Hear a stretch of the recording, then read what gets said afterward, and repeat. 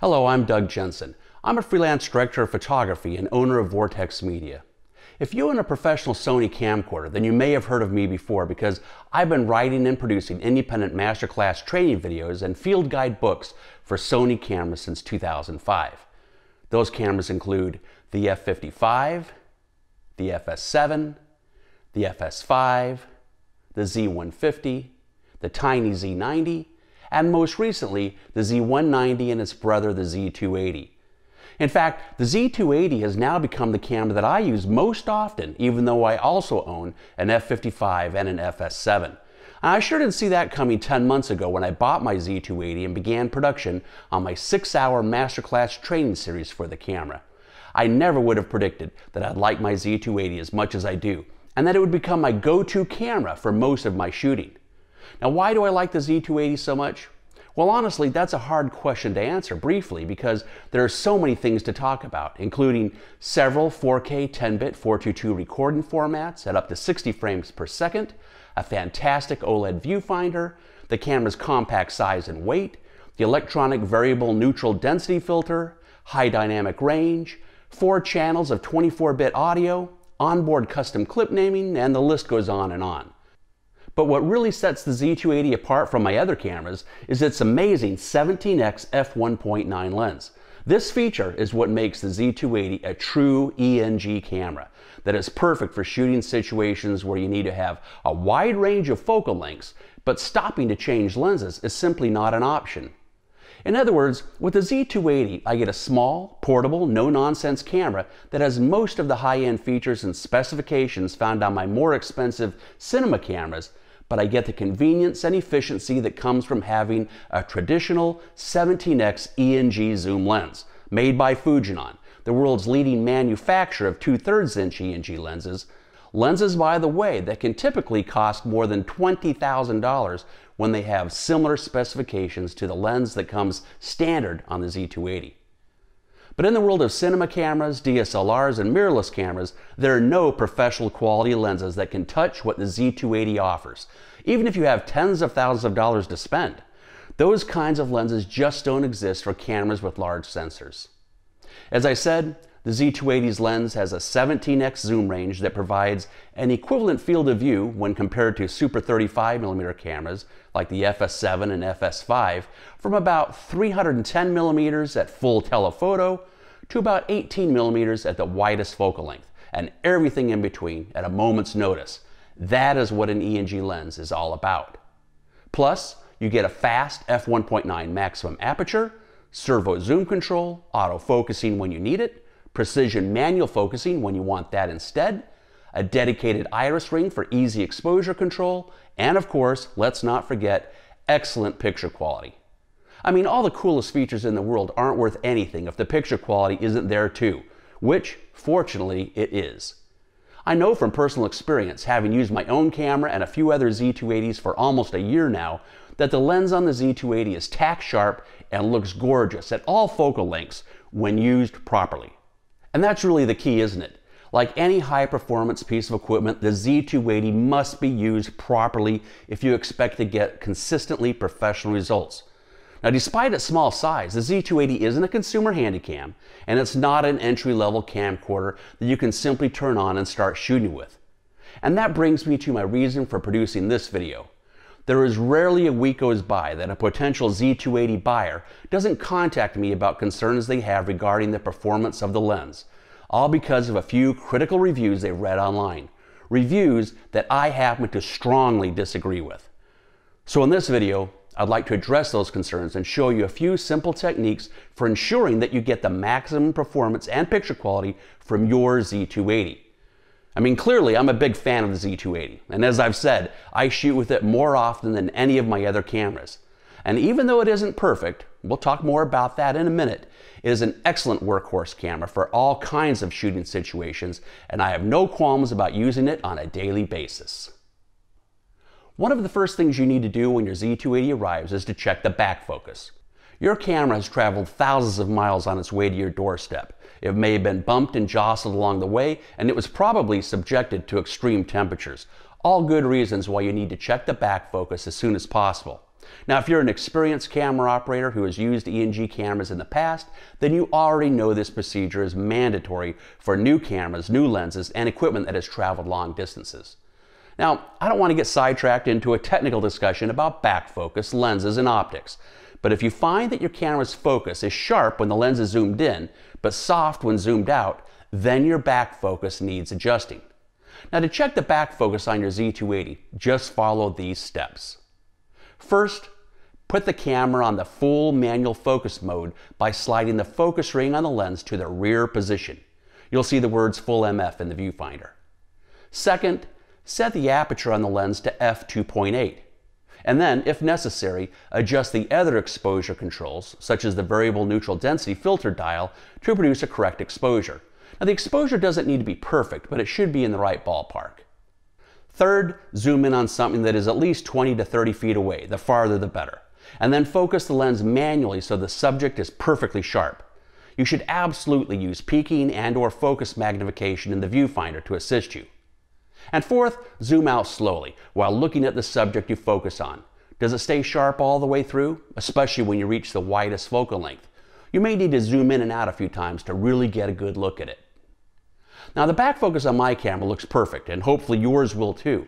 But let's pretend that we see a problem that needs to be fixed. Fortunately, correcting the back focus on a Z280 is a lot easier than on other ENG lenses. All removable ENG lenses, like those used on shoulder mount cameras such as the PXW Z450, have a back focus adjustment ring at the rear of the lens. You have to loosen it up and then manually adjust the back focus by hand while looking through the viewfinder. It's tricky to do and takes practice. But adjusting the back focus on the Z280 is automated. All we have to do is make sure the camera is set up correctly according to the instructions that can be found on pages 45 and 46 of Sony's Z280 operation manual, and the onboard computer will do the heavy lifting for us. And it's my belief that this is where a lot of Z280 owners get it wrong. I've had several people tell me that they adjusted the back focus on their camera and it still had a problem. But guess what? Every single time I questioned the person about their back focusing procedure, all of them were doing it incorrectly. I cannot stress enough how important it is to follow Sony's instructions to the letter. No matter how you may have adjusted the back focus on other cameras in the past, you need to follow the specific instructions Sony provides for the Z280. Now, this is a subject I already covered in my Z280 masterclass, and I don't want to do it all over again, so I'm going to insert that segment now.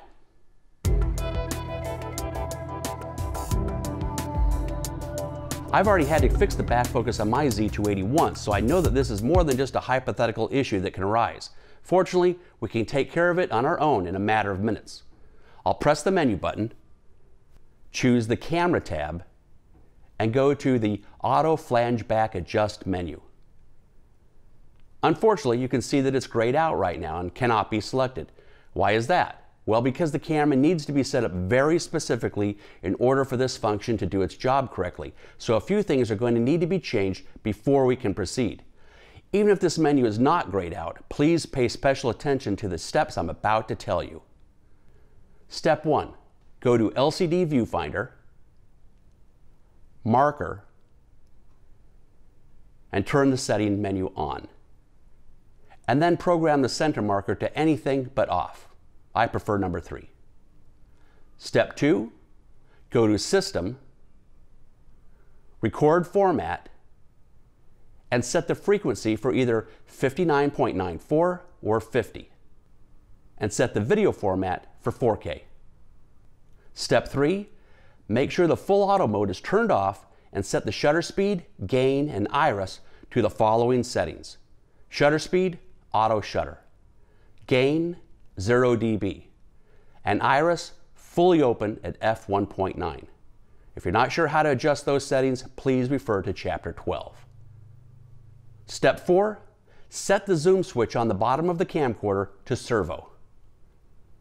Step 5, place a high contrast subject, such as a well lit back focus chart, about 10 to 12 feet away from the camera. The bigger the chart, the better. But it doesn't have to be an official chart. Anything with high contrast and lots of detail can work just fine. Place the chart so that it appears at the center of the frame when you zoom in. Also make sure that there are no objects closer to the camera that will come into view when the lens is zoomed out. Step 6. Use the variable ND filter or adjust the lighting so that the exposure is approximately correct. The chart doesn't need to be perfectly exposed, but it does need to be close. And finally, step 7. Go to the Auto Flangeback Adjust menu, select it, and then execute. During adjustment, the in progress message is displayed.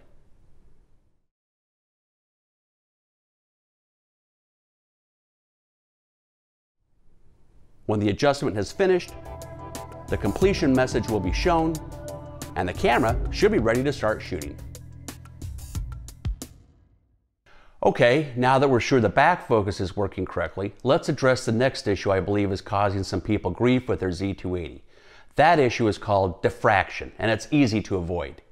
As seen in this split screen example with the picture mirrored on each side, diffraction is a loss of sharpness or resolution that is caused by shooting at small f-stops.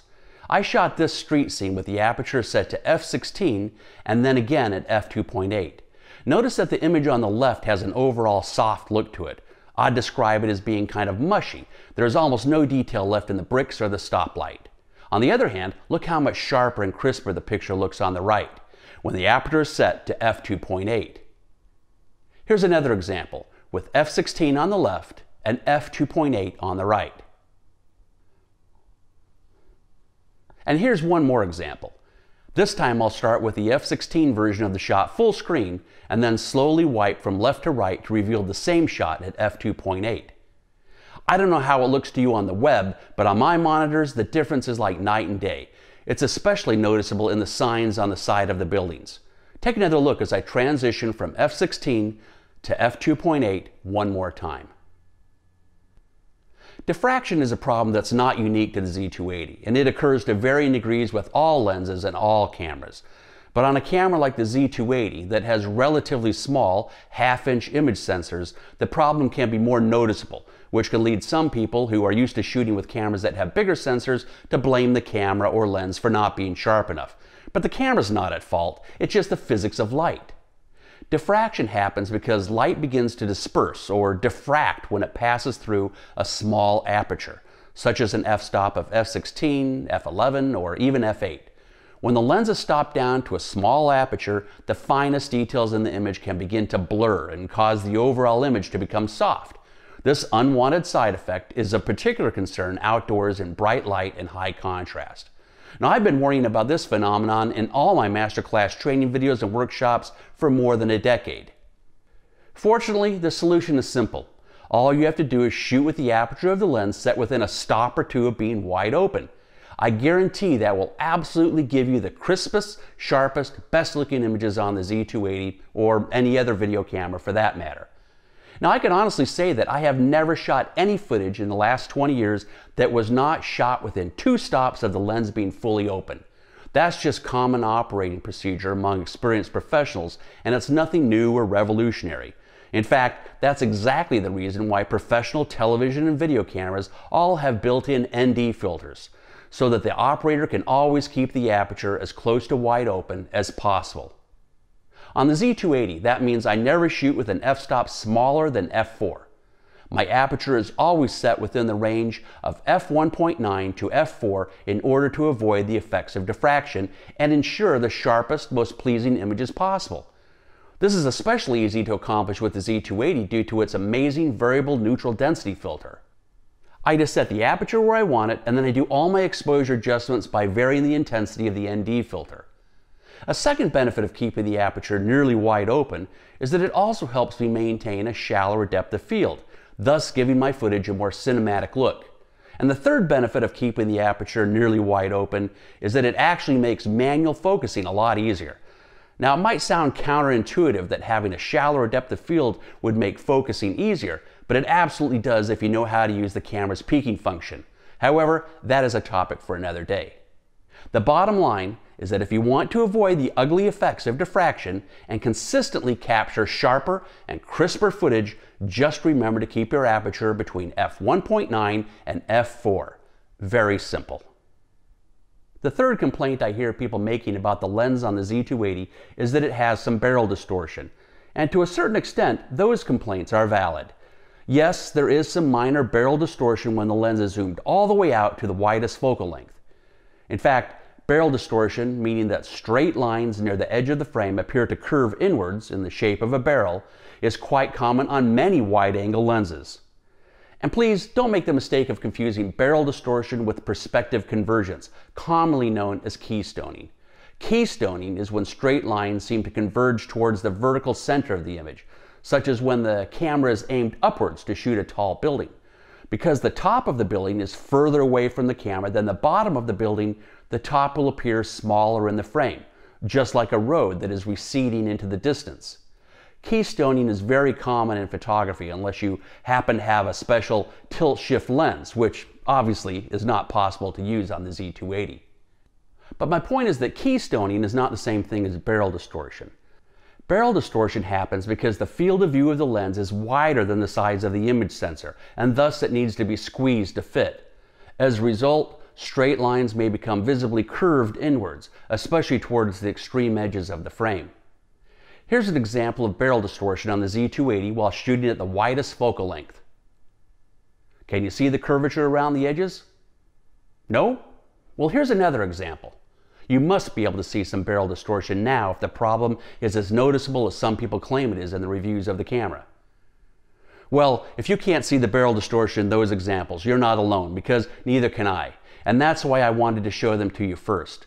In my opinion, the complaints about barrel distortion on the Z280 have been blown far out of proportion. But to be fair, here's another example that does show some barrel distortion. This is the most extreme example of barrel distortion that I've been able to come up with so far. This clip was shot with my Z280 zoomed out to the widest focal length with the camera aimed directly perpendicular towards the garage door and with the camera placed just far enough back so that the perimeter of the door would run along the edges of the frame, which is where the distortion is always going to be most noticeable. So there's no question about it. The Z280 does exhibit some barrel distortion under just the right circumstances. But the question you must ask yourself is if it makes any difference to you or not. That is up to each individual to decide for him or herself. Is the possibility of having a little barrel distortion once in a while going to outweigh all the other amazing features the Z280 offers? Or can you just ignore it and move on? And tell the truth, would you have even noticed barrel distortion if it wasn't brought to your attention by someone else? Now, I'm well aware of the issue, and I can honestly say that it doesn't matter to me at all. I never even give barrel distortion a moment's thought when I'm out on a shoot. Now, you're free to have a different opinion if you want to, but for me, it's a non issue. Nevertheless, let's take a closer look at a couple of things you can do to mitigate the possibility of seeing barrel distortion and also how you can make it disappear completely in post with just a couple of mouse clicks if you ever need to.